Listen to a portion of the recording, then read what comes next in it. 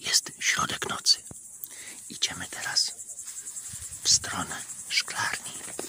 Musimy to zrobić cicho. Bardzo cicho. O, jak pięknie cykady cykają. O, jestem przy szklarni. Czekajcie. Dobra, możemy. Pomidorki, które najbardziej lubię, to są pomidory malin, malinowe. Teraz zbieramy, zrywamy tutaj. O, nie wiem, czy to widać. Jeden, tu, drugi, trzeci. Cicho.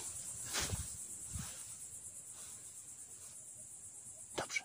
A dla, dlaczego zrywamy w nocy?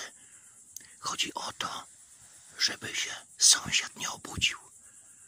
Wiecie, mógł mieć pretensje, że tam coś się dzieje w jego szklarni.